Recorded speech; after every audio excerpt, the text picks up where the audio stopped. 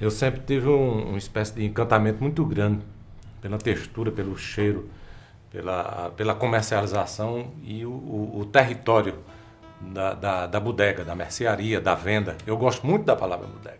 Zé Gordo surgiu de uma cria da minha mãe. Comecei a trabalhar com bodega em 66. Bodegueiro no sítio, trazendo os burrinhos. Eu era um homem rico, tinha três burrinhos. Um aleijado de uma perna, um cego do oi e outro com caroço no espinhaço desse tamanho. Você chegava aqui, seu gordo, eu quero um quilo de farinha. Um papel assim, ó, você sai enrolando, ó, tá vendo? Aí você leva a farinha para casa. Na minha bodega é tudo de hoje. Avoador, carne charque, peixe traíra, peixe cumatã, arroz.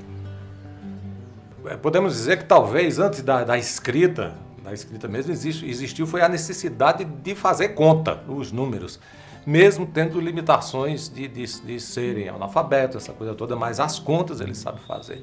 E isso numa agilidade tamanha e que eles têm até, digamos assim, desconfiança de uma máquina de calcular. As minhas contas é feita tudo no papel, somos 500 contos, somos 600, 300, 220, toda coisa, conta minha aqui. Ó.